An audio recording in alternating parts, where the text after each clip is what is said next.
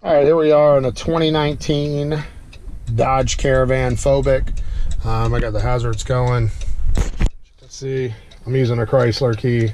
Doesn't matter. It's irrelevant. Go ahead and turn it on. Key not programmed, so we're gonna go ahead and read the pin and then program.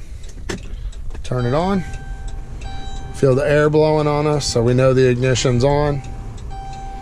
Okay read pin. All right, there's our pin, 3052. Go to a immobilizer. Ignition's on. Two keys programmed.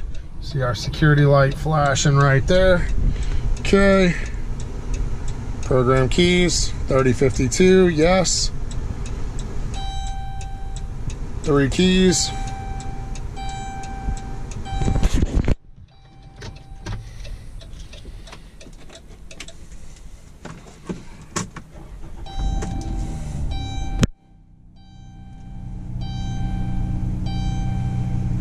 There it is, 2019 Dodge Caravan.